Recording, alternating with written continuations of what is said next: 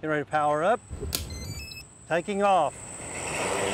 The wide blue yonder Flight systems look good. is becoming the wild, wild west when it comes to drones and privacy laws. Flying over a public park like this, there's no problem. Robert Ewan specializes in aerial real estate photography. Give you a little pan view of downtown. His custom drones can cost up to $35,000. I'm gonna bring it back in for a landing here. But hobbyists just wanting to capture Austin from a different angle can now put cameras in the sky for less than a thousand bucks.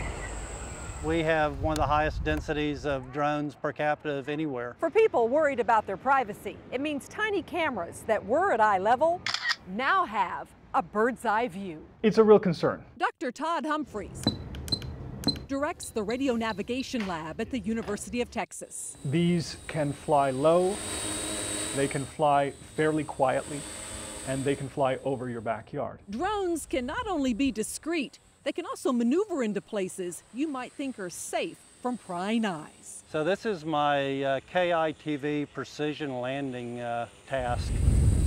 On a windy morning, we asked this pilot to bring the drone in low, stay directly in front of us, and land on top of our GoPro.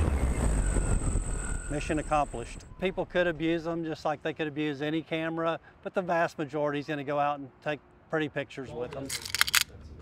Whether you build or buy a drone, flying for fun doesn't require the government's go ahead. If you can't have fun doing this, what's the point? So long as the unmanned aircraft stays under 400 feet and away from airports and restricted airspace, you're in the clear. Okay, we've got satellites, flight voltages look good. It's a little bit surreal and a little bit futuristic. Dr. Humphreys says in the absence of adequate federal rules, Texas created its own drone law. You're not supposed to take pictures from a drone of private property without the person's consent.